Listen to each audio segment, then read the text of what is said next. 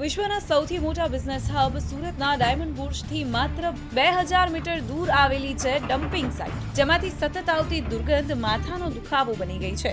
Diamond બુર્જના નિર્માણ બાદ દેશ વિદેશના લોકો સામે સુરત શહેરના કોર્પોરેશનનું ખરાબ દેખાય તેવી સ્થિતિ ઊભી થઈ છે. તો બીજી તરફ, વડાપ્રધાન નરેન્દ્ર મોદી પણ સતત આ અંગે ટકોર કરતા રહ્યા છે. ડમ્પિંગ સાઇટની દુર્ગંધ એટલી અસહ્ય છે કે ત્યાં ઊભા રહેવું પણ કપરું બન્યું છે. ડમ્પિંગ સાઇટની જગ્યા એપ્રુવલ માટેની પ્રોસેસ ચાલી રહી છે.